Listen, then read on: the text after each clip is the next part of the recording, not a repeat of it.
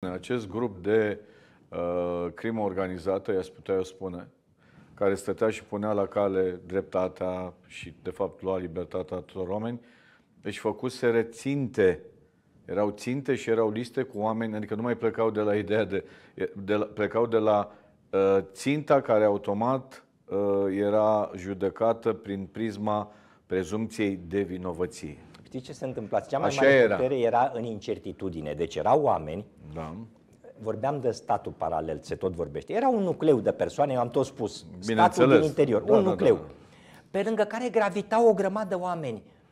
Incertitudinea ăstora îi făcea puternici pe cei din nucleu, pentru că au fost oameni din a... care gravitau în jurul nucleului, da. care veneau și îmi spuneau mie, și am spețe concrete în cap, ehm, domnul general, Domne, nu mai fiți ostil cu ei, domne. Domne, se vede, uitați, îl supărați pe domnul general cu tare, pe domnul general cu tare. Îmi spuneau domnul... politicieni asta. Îmi spuneau politicieni. Politicieni care erau arestați după... Ei fiind, spunându-mi, țin minte pe unul care îmi spunea, uitați, vă spun eu, nu vreau să știe lumea, eu voi fi ministru al justiției cât de curând.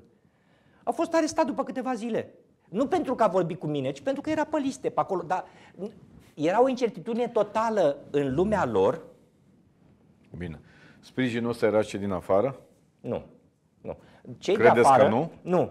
Vă spun garantat. Cei de afară au niște interese foarte clare. Păi ei nu interesează. Păi interesează ca interesele, probleme, lor, ca interesele lor să fie Și le rezolvate. pot rezolva în principiu cu oricine. Ei n-au nevoie de da, X sau de Asta n-au înțeles. Uh, Credeți că schimbându-l pe domnul Coldea nu-și mai rezolvă probleme ba da, sau altele? Da, da. Găsesc. Da, uh, vreau să vă întreb o chestiune legată de caracter caracterială, apropo de oameni. Domne, totuși, Chioveși și cu Băsescu și cu, uh, cum îl cheamă pe ăsta, Coldea, stăteau la masă cu unii, da? Și participau, mergeau și prin vacanțe, da? Că tot vorbirăți de vacanțe, mergeau și la crama lui Ghiță, ce fel de om să fii să-i execuți pe ăștia cu care stă la masă? Și sunt două categorii aici. Și vă rog să ne răspundeți uh, cu sinceritate. Stați doar o secundă. Sunt două categorii. Odată unii care erau cu ei la masă, vezi Bica, vezi Udrea, care participau la toate, aceste, la toate aceste discuții și făceau parte din stat, adică erau ministru, Bica era șefa de, ce era, de ICOT, nu? Da, da, da. Ceilalți erau politicieni, Ghiți era om de afaceri. Da? Și să execuți pe ăștia cu care ai stat la masă, ai făcut lucruri de felul ăsta. Și cu aia cu care ai făcut vacanțe. Ce fel de caracter ești? Eu pot să vă citesc răspunsul unuia dintre cei da. responsabili, nu intru în detalii. Domne, dar ai fost cu omul ăla, dacă știi că era păcătos, de ce te-ai dus cu el? De ce te-ai asociat cu el? De ce? Eu, uh, eu a fost ridicat nu pentru ce a făcut cu mine, pentru ce a făcut fără să știu eu. Eu nu sunt obligat să-l cunosc. Și nu am nicio obligație față de el. Deci nu mă interesează. Asta era, era o disociere, era e o problemă, eu nu vreau să intru că nu sunt psiholog, să mă... Era o disociere păi nu, de asta, știți, uman, țineți minte pe punta când a zis eu ca parlamentar votez pentru, da, da contra da, și ca prim-ministru votez știu, știu, pentru. Da, știu exact cam și speța. Cam așa erau și ei. Spuneau, domne, eu acolo am fost ca persoană privată, n-am nicio treabă, măsurile le-am luat ca Păi nu poți, pentru că mesajul pe care îl transmiți... La ședințele astea de care vă spuneam, la acest grup da, știu, organizat știu. de crimă organizată, erau ca oameni de stat. Oameni Absolut. de stat că și erau se discutau probleme ocupau de stat. funcții, știu. se ocupau de lucruri de asta. Și cum se execuți pe aia? Cum a fost posibil? Da. De unde, cine, inițiativa asta puteau să o ia uh, Chioveși și Școlda, pentru că ei au executat pe toți. Sunt singurii care au rămas în picioare, da? Băsescu, pentru că era președinte, dar fratii sau uh, copiii, cine mai erau pe acolo, au fost executați mai mult sau mai puțin. Cine a luat hotărârea asta de a executa pe ceilalți?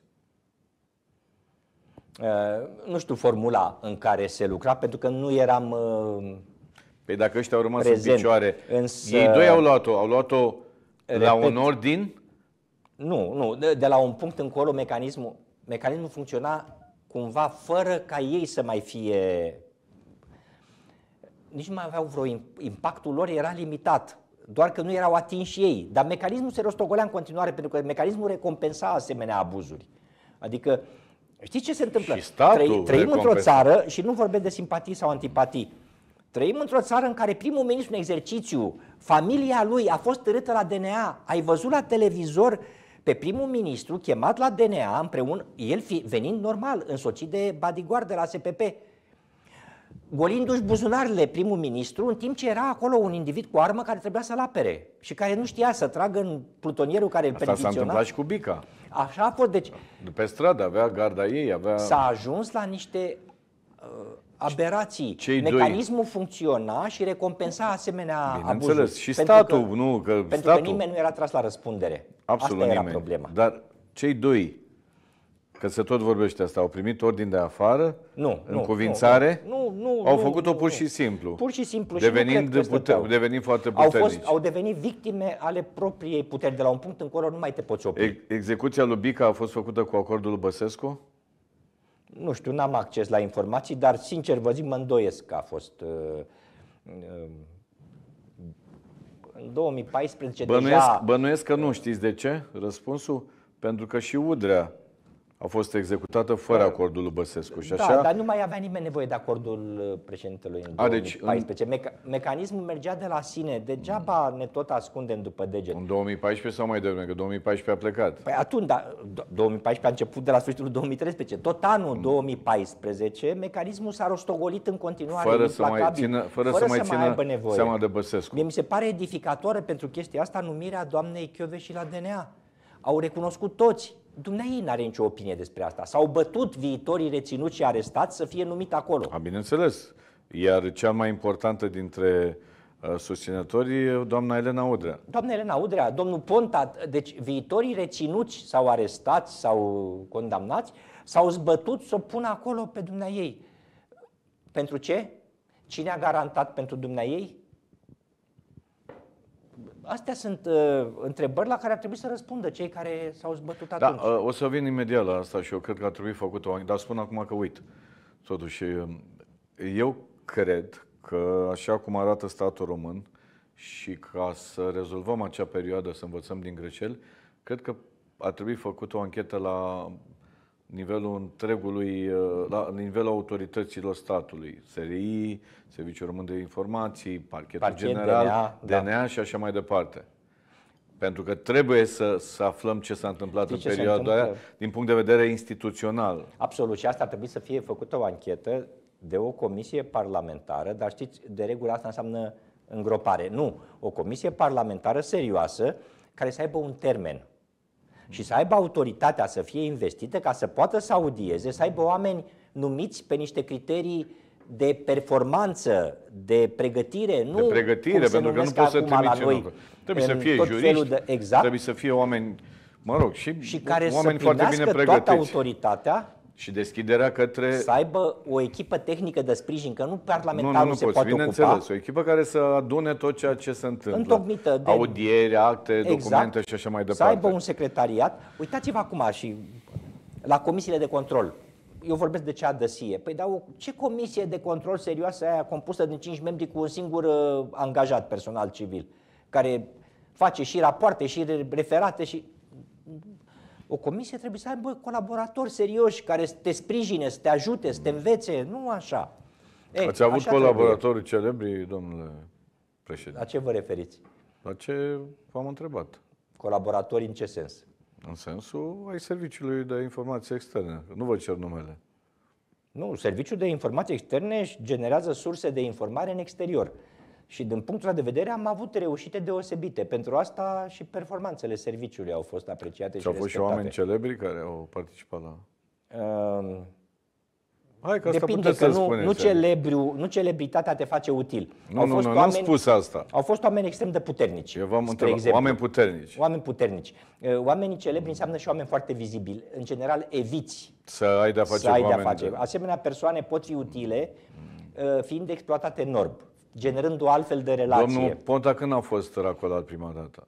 Nu știu, pe mandatul meu, domnul Ponta nu era cadru al serviciului, eu n-am cunoștință de acest Păi nu, ăștia care sunt acoperiți nu sunt niciodată cadru. Păi nu de el a zis că o să dea rucsacul, mă tot rog de el. Îl păi tot întreb când o să spună. Și eu curios să aflu, să știți. Da. Dar chiar așa, ă, dacă ar fi fost, ați fi știut? Uh, Pentru că a stat ani de zile. Vă, vă spun foarte... E un răspuns nu legat de nu, Ponta, nu, nu, ci în general nu, legat de... Deci vă spun foarte serios. Deci ă, nu ai acces la informații decât de la un nivel ierarhic în sus, la informațiile care privesc, spre exemplu, cadrele de plin da. acoperite. Accesul meu la informații a fost foarte mare de la momentul 2004, când am preluat direcția de securitate. Mm-hmm. La acel moment eu nu am găsit în niciun document pe domnul Ponta. Deci am, atunci când am preluat. Am încheiat de, subiectul. De atunci încolo eu puteam să am acces. Am, înche- am încheiat subiectul, Victor. Ponta. Da, da. Dar ați putut să vedeți alții acoperiți care erau. E, uh, am mai spus asta și mi-asum răspunderea și poate să vină orice comisie să verifice. Serviciul de Informații Externe, vorbesc de mandatul meu, nu înseamnă că altfel, că acum e altfel, nu a avut niciodată un ofițer care să fie membru de partid. Uh-huh. Pentru că asta este interdicția de bază. Lumea nu înțelege. Interdicția de bază La serie cu plin de membri de partid. Stați este liniștiți. că nu ai voie să ai ofițer care să fie membru de partid. Bună, întrebarea era alta. Ați văzut cine sunt acoperiți, da? Da, bineînțeles, îi cunoșteam acoperiții mm. mei, dar erau absolut justificat toți A, nu, nu, și acoperiți de dar știați pe toți. Da, trebuia să-i știi. Păi și acum făcând erau. politică și văzându-i?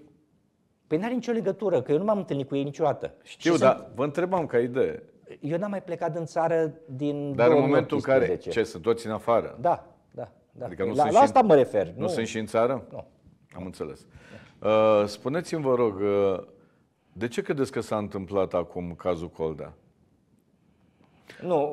Uh, Suntem amândoi, amândoi suficient de, uh, să zic, maturi. Trăim în România de atâta timp și fiecare în meseria lui știe ce înseamnă ca dintr-o dată să fie chemat la DNA unul precum Coldea, șeful uh, operativ. Adică asta, dacă nu ar fi vrut cineva, nu s-ar fi întâmplat niciodată, niciodată, niciodată. Absolut, absolut. Uh, eu nu cred, deci uh, nu cred în coincidențe, în același timp nu cred nici în teoria conspirației. Nu de conspirație. Nu vreau să mă refer neapărat la domnul Hideg. Sunt persoane care își caută și nu vă ascund, cred că în urmă cu vreo 6-7 luni de zile a venit către mine o ofertă de sprijin pe linie de partid, de sponsorizare. Mm-hmm. Când am verificat, era la baza ei o persoană aflată într-o problemă juridică și atunci am zis mulțumesc, n-am nevoie. Mm-hmm. Nu ne trebuie. Mm-hmm. Vă mulțumesc, la revedere. Uh, trebuie să fii atent atunci când primești. Eu asta pot să le reproșez celor doi, lui Dumbravă și lui Coldea, dacă e de reproșat ceva. Reproșați? Uh, îți verifici potențialii clienți și nu te asociezi, că nu te obligă nimeni să iei. Odată ce ai semnat Sper contractul... că glumiți acum. Nu, nu, eu, eu păi vorbesc era despre... un modus operandi să eu, facă Eu asta. vorbesc despre o abordare corectă. A. Deci tu îți faci consilierea și când vine la tine da. cineva care își cere ceva, verifici și spui... Eu fiind un ziarist nenorocit, eu trebuie să spun cu subiect și predicat că tot ceea ce făcea era un modus operandi. Da, avei nu verificau. Ei tocmai că mergeau la cei care nu, erau cu spun, probleme. Asta spun, da. ei, ei mergeau la cei care erau cu probleme pentru optimizare. Degeaba mergeau la unii care nu aveau nevoie de nimic. Ce vreți mai, mai legal de atâta încât să cer banii cu TVA, să cer suma și cu TVA-ul prevăzut? Domnule, noi am luat bani. Pentru că ei s-au crezut intangibili, domnule comandant. Da, sunt de acord cu dumneavoastră ei, ei au condus atât Nu s-au așteptat, cu certitudine sunt de acord ei... cu dumneavoastră. Nu s-au acceptat nicio clipă să fie chemat și să fie ținuți ore întregi? Nu, dar nu s-au nicio secundă că ei lucrând întotdeauna în subterane, precum gândacii care stau la, uh, la, era să zic, la lumina întunericului, care stau la, în întuneric ca să nu fie descoperiți, ei așa au, au lucrat și în momentul ăsta au ieșit, s-au pus luminile pe ei și s-a dus încolo tot sistemul pe care l-au creat încă 8 ani din momentul în care n-au mai fost la conducerea Serviciului Român de Informații. Deci credeți și dumneavoastră că cineva și-a dat acordul pentru a începe această, măcar pentru a începe această investigație. Păi nu neapărat pentru a duce... În mod sigur și-a dat acordul. Sunt convins că la nivelul DNA s-a analizat foarte serios dacă se meargă mai departe sau nu cu speța și dacă se justifică chemarea. Mm-hmm. Și au fost niște calcule care probabil au dus către concluzia că e mai util așa. Nu știu ce să zic. Uh, Altfel eu nu văd influențe externe, să știți. A, nu, nu, nu, nu, sub nu, nicio mă, formă nu, nu mă le gândeam văd. la influențe Da, externe, da. pur și simplu de aici.